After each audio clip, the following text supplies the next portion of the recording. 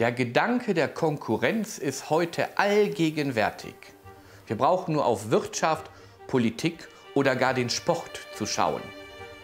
Warum das so ist und was eigentlich dahinter steckt, darüber unterhalte ich mich mit Professor Dieter Hattrup in unserer neuen Serie Natur und Gnade, das Drama von Gott und Mensch.